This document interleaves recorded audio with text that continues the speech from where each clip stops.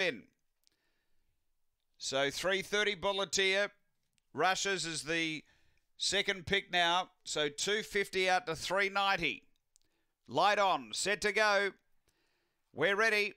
Race four here at the bridge. They're set to go. Racing. And stumbling a bit was Stiff Wind. Very good speed. Coco Nova got over to lead. Coco Nova clear out by three. On, taking a heavy tumble at the back of the field. Stiff Wind. Spofforth got to second.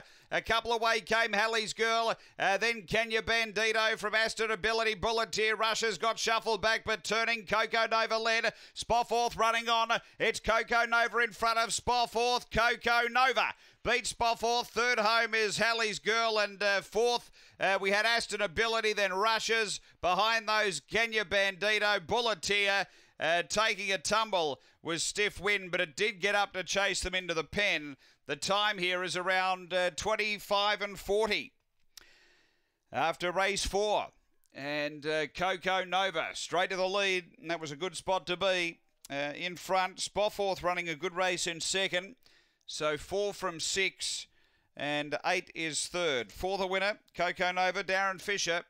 Uh, second, going to six, Spofforth for Ben Rawlings. And third to eight, Halley's girl, Tony Rasmussen. Uh, seven, Aston Ability is fourth home. 4687 2543 after race number four at Murray Bridge.